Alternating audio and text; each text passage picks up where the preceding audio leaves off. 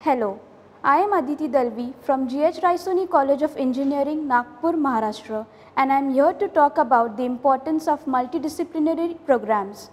National Education Policy 2020 has the provision of helping students to choose from multidisciplinary programs and provides the flexibility to choose different subjects from different domains.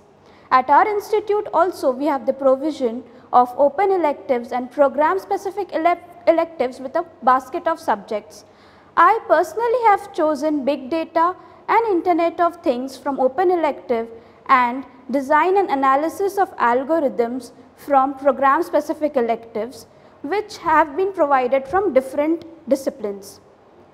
Learning these subjects have helped me in my personal and intellectual growth immensely and have helped me reach greater heights. Thank you.